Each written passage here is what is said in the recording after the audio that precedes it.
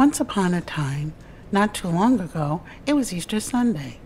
All dressed up with my new patent leather shoes, fancy dress, and bangs. I couldn't wait to show my cousins after church when we met at Granny's house for linguiça and eggs. Granny and Grandpa were immigrants from Cape Verde. Cape Verdeans first arrived in Rhode Island in 1892 on packets. The Ernestina and the Madeline were the queens of the packet trade. When they sailed into port, the whole community rushed to the dock to welcome the new arrivals and get news from the old country.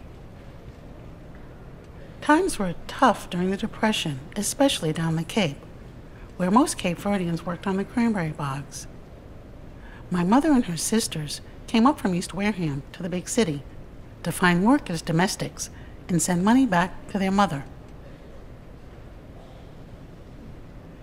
Daddy, the firstborn of seven, met my mother, married, and moved to Planet Street. Down the hill were Uncle Charlie and Aunt Pat. Downstairs from us were the Limas, and their cousins, the Mauricios, lived upstairs from Uncle Charlie and Aunt Pat. 26 Planet Street, Dexter, 18934. The first things I ever memorized. Where do you live? What's your number? And the lot was the best ever for kickball and hide and seek. Ollie, Ollie, I'm free. Come out, come out, wherever you are. My gang of siblings, cousins, and more cousins played outside every day until we heard dong, dong, dong, dong, dong of the church bells of the First Unitarian Church. Five o'clock, time to go in for supper. I wasn't allowed past the corner of Planet Street and South Main Street without a big kid.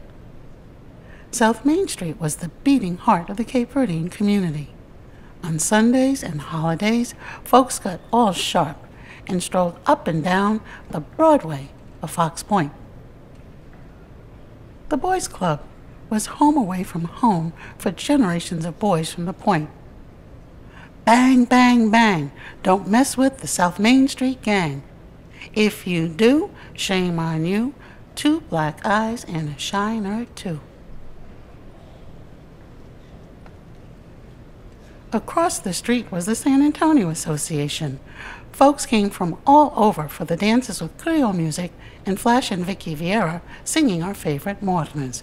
For us kids, they had big tubs of ice filled with soda pop and little cups of vanilla, chocolate, and strawberry ice cream.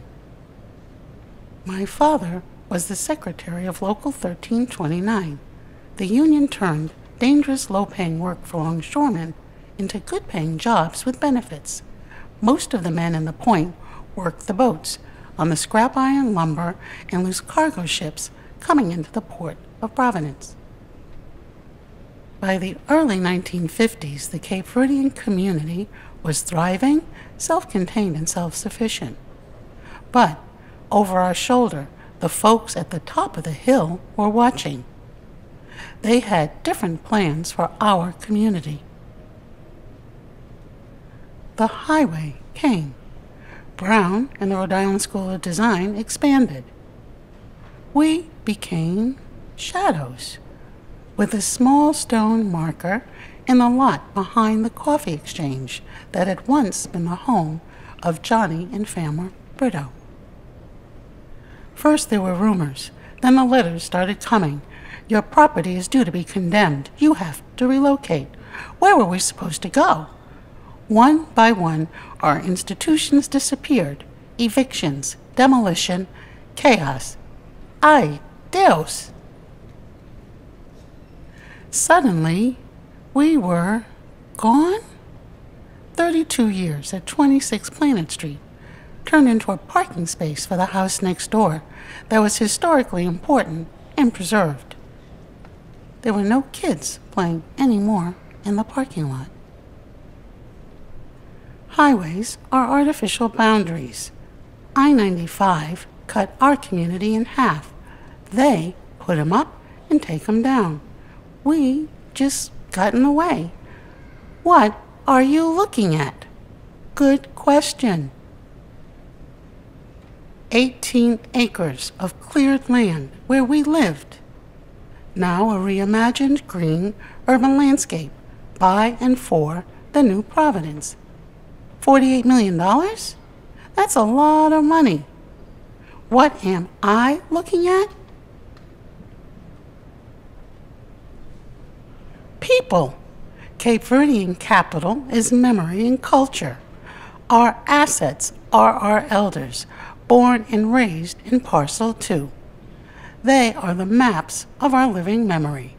We are here and here, and this is where we lived. Our road in Rhode Island is culture, and culture has no boundaries. Being Cape Verdean is a state of mind, and home is where your heart is.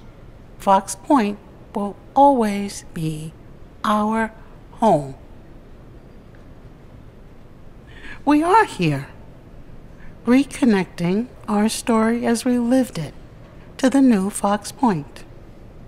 Come, walk in with us into the future as we build our road in Rhode Island.